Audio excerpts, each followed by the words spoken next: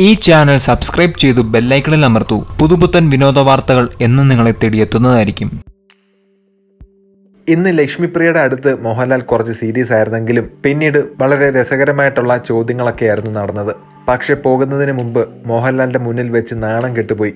റിയാസും റോൺസണും. സംഭവം എന്തെന്ന് വെച്ചാൽ ഒരു മോഷണകഥയാണ്. ആ വലിയ സ്ക്രീനുള്ള ടി വിയിൽ തന്നെ എല്ലാവർക്കും മുമ്പിൽ വെച്ച് പ്രദർശിപ്പിച്ചു ലാലേട്ടൻ. എല്ലാവരും കണ്ട് ചിരിക്കുകയായിരുന്നു. അതായത് എല്ലാവരും ഉറങ്ങിയ ശേഷം രാത്രിയിൽ റോൺസണും റിയാസും കൂടി ചെയ്യുന്ന കാര്യങ്ങൾ മുട്ടയും പാലും അടിച്ചു മാറ്റി കുടിക്കുക.